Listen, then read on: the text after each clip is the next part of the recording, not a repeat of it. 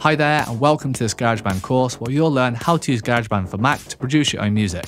Whether you're brand new to music production or you've been using GarageBand for a while, this course will teach you the essentials and beyond, helping you confidently use this digital audio workstation to produce your own music.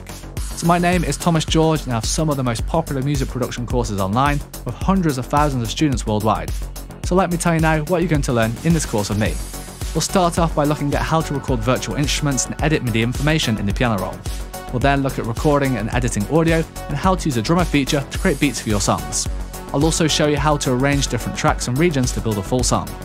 We'll then look at mixing your music, including level balancing, panning, and how to use essential effects such as EQ, compression, reverb, delay, distortion, modulation effects, and automation.